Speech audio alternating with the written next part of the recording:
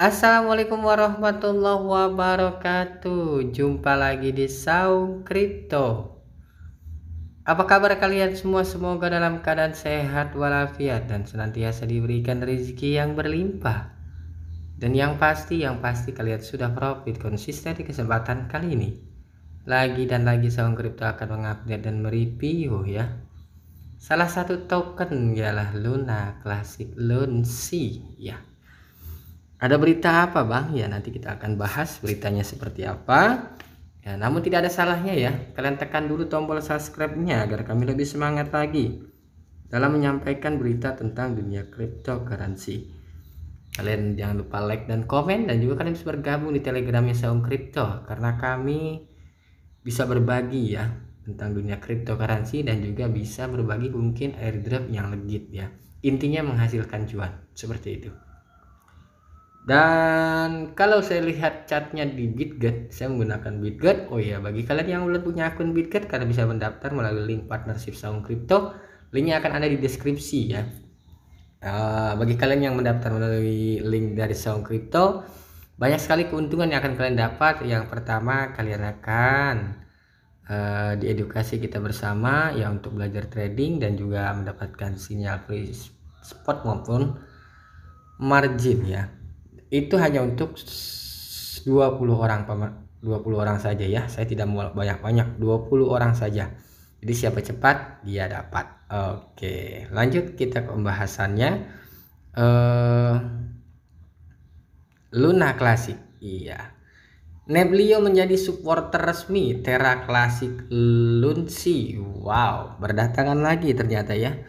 Para supporter supporter ya teman pendukung dari si Luna Classic ini. Kita lihat temanya seperti apa dia. Terra Rebel akan menerima dukungan dari Neblio dalam tujuannya untuk membangun kembali rantai Terra Classic. Mantap. Ya, terkadang orang e, melihat cuma harga ya. Banyak sekali kalau saya lihat komen-komenan banyak ini tapi harga turun terus nggak naik-naik lah. Ini loh. Jadi eh mungkin sih ya bocil kali ya. Jadi orang yang baru main di kripto dia beli di pucuk dan sekarang harga sedang koreksi dia keluar-keluar mungkin ya. Mungkin ini ya tapi ya biarkan saja. Cuma saya perlu saya garis bawahi ya kalian bermain dunia cryptocurrency kalian harus kuat mental terlebih dahulu ya. Jangan pengen kuat cuannya saja tapi kuat mental dulu ya. Kuat mental menghadapi market dalam keadaan seperti ini terutama ya. Dan saya rasa kalau kalian punya jiwa investasi kalian tidak akan memikirkan harga dulu ya. Tapi yang perlu kalian pantau itu sejauh mana project token ataupun koin ya yang kita investasikan ya berjalan atau tidak atau stake di tempat. Itu yang perlu kalian benar-benar riset dan riset ya. Kenapa? Karena dari segi projectnya kalian bisa menilai ini token ke arahnya ke mana.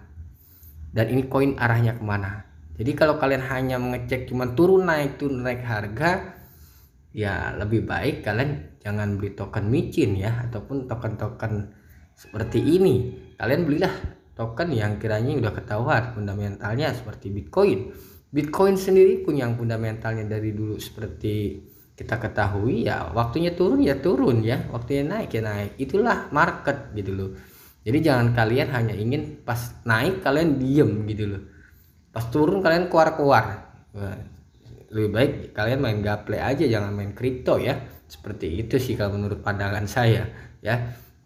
Dalam sebuah tweet pada hari Senin ya Terra Rebel melalui akun Twitter resminya mengungkapkan bahwa Neblio blockchain perusahaan terkemuka telah menjadi pendukung resminya Khususnya, Neblio akan menjadi penasihat dan mendukung tim pengembang di bidang infrastruktur dan keuangan.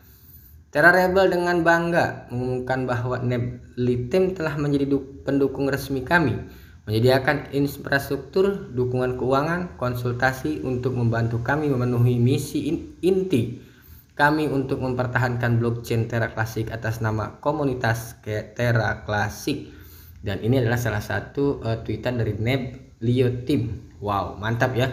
Jadi dia mensupport dari segi keuangan segi infrastruktur semua disupport dari Neblio Team mantap ya. Jadi makin uh, apa namanya kelihatan ya makin kelihatan uh, Luna Classic ini para pengembang terutama pengembangnya pengembang dari komunitas ini mereka benar-benar bekerja untuk arminya saya karena dia dia sendiri pun holder sebenarnya. Bukan suatu orang yang awal pengembang. Pengembang kan kita tahu eh, bahwasannya si Dokon itu ya.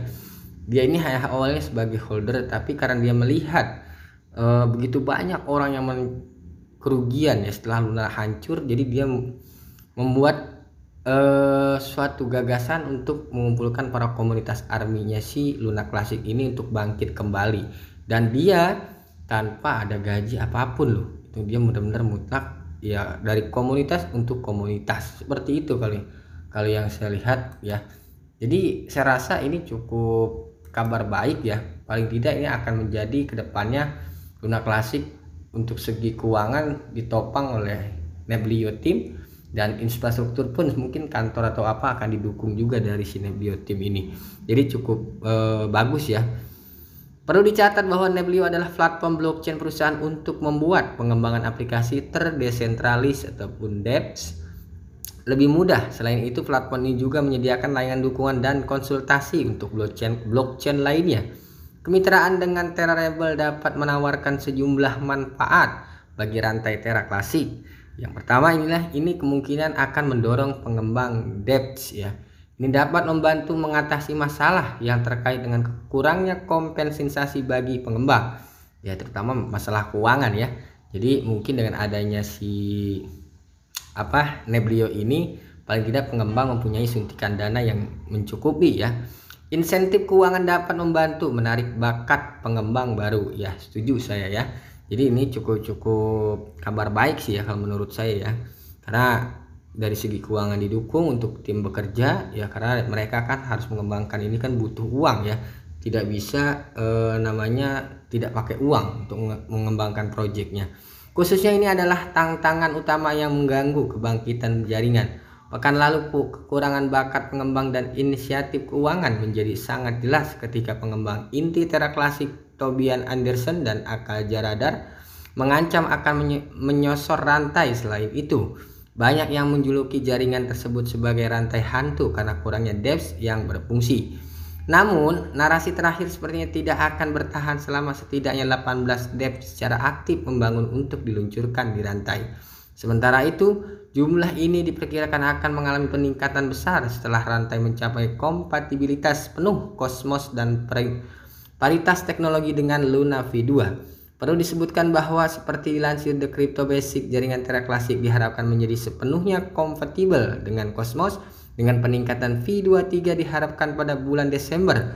Sementara itu Terra Rebel bekerja sama dengan pengembang Cosmos Jacob Gadian jadikan ya Jacob Jacob Jadikin ya untuk mencapai parit, paritas teknologi dengan Luna V2 Edward Kim yakin jaringan akan mencapai ini dengan baik sebelum pertengahan 2023. Oke, jadi memang semua butuh proses ya tidak ada yang instan. Ya sekali lagi selalu saya uh, tegaskan kalian selalu riset dan riset di mana uh, menurut kalian layak atau tidak kalian berinvestasi di token Luna Classic ini. Karena yang untung pun kalian yang rugi pun kalian. Tetap selalu riset do your own research ya disclaimer on endure gunakan uang bebas jangan uang beras ya agar kalian nyaman dalam berinvestasi Share video ini jika bermanfaat. Salam cuan, salam profit konsisten, dan salam saung kripto. Assalamualaikum warahmatullahi wabarakatuh.